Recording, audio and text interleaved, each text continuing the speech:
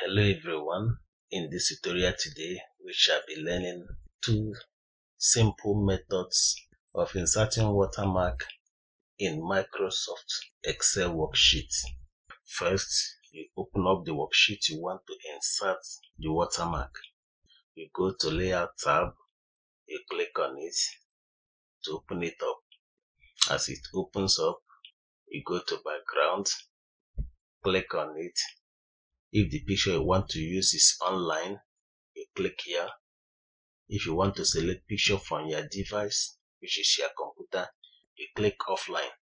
And since the picture that I want to use is in my device, I click offline. This will open up a folder for me in my device. Then I will select the folder where I save the picture I want to use as my watermark. I scroll down to locate it. Once I've seen it, I click on it and click on insert. This will automatically insert the picture into the worksheet as a watermark. When you scroll to the next page and the next, you will notice that it has automatically inserted the watermark in all pages within the worksheet. It did not give us option of adjusting the watermark. To remove this watermark, I click on delete background and it automatically remove it from the worksheet.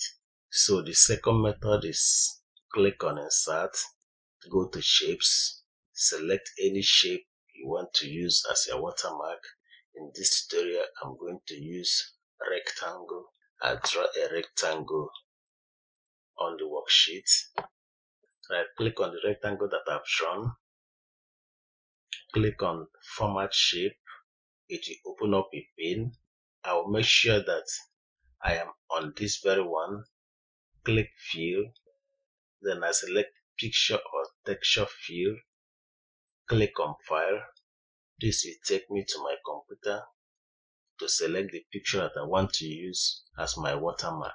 I scroll to locate the picture, click on the picture and click on insert. It has inserted the picture into my Excel worksheet. I position the picture where I want it, then I can adjust the size of the picture. From this transparency is in 0%, the more I move it up, the more I send the picture to the background as a watermark. You can use any percentage you want, but I use between 55 to 65 percent. So I leave this one on 56 percent. I go to Format tab, click on Shape Outline, and select no outline. Since I have more than one page in this worksheet, I click on the watermark that I just created, right click, copy. You can use Ctrl plus C to copy. Then I go to the next page, I click and paste it. You can use Ctrl plus V to paste. Then I position it where I want it to be. Then I go to the last page, click, then I paste as well. Then I position it where I want it to be. So having done this, let's see the preview of how the watermark will be when printed out. So I click on file, go to print.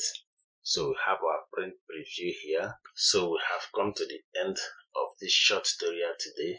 Hope you get some value from this tutorial. If you did, please like this video, subscribe to my channel click the bell icon so YouTube will notify you once I drop a new video.